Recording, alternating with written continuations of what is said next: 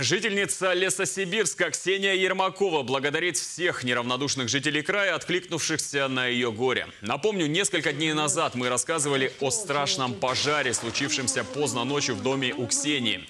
Тогда в огне погиб э, глава семьи. Двух несовершеннолетних сыновей чудом удалось спасти. Мальчикам из огненной ловушки помог выбраться сосед. Женщина с детьми остались э, не только без крыши над головой, но и без самых элементарных вещей. После нашего сюжета отозвалось э, много неравнодушных людей, готовых поддержать семью в трудную минуту. Ксения рассказывает, с предложениями помощи ей звонили со всего края, а лесосибирцы организовали сбор вещей для нее и ее детей. Я даже не ожидала, что так откликнется. Люди все, абсолютно все начали откликаться на помощь.